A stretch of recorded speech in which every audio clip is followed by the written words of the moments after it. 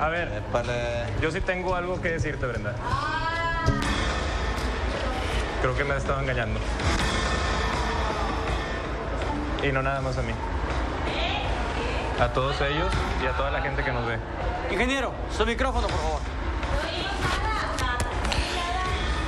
Déjame le repito de nuevo, por favor. Una disculpa. Creo que Brenda me ha estado engañando. Y no nada más a mí, a todos ustedes y al público. Desde que entró con Adrián, me engañó. E incluso también a él.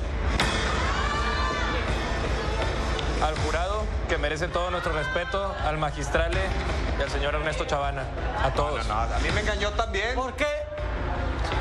Incluyendo Explica. a su familia, a su hermana, a todos. A mi, a a mi familia también engañó. También, Quique, a mí también. también a ti. ¿En serio? Todos.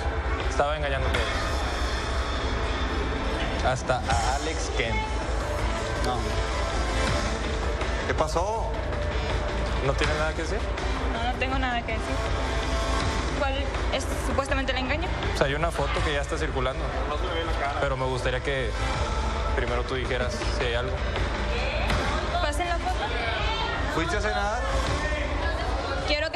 Foto para aclarar yo esto. ¿Saliste con alguien? ¿No? Que no se Quiero ver, engañó. quiero ver. Es que no, no se trata de que se ha de salir con alguien o no. Ajá. No es la infidelidad, no es el hecho, es por qué la mentira. ¿Por qué? ¿Cuál ¿Por qué? mentira? Queremos saberlo ¿Por qué todo. Es que tú nos dijiste a nosotros que tú eras güera. Y no es cierto.